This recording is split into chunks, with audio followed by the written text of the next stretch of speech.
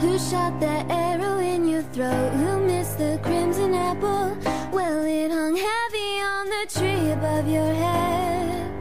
This chaos, this calamity, this garden once was perfect. Give your immortality to me.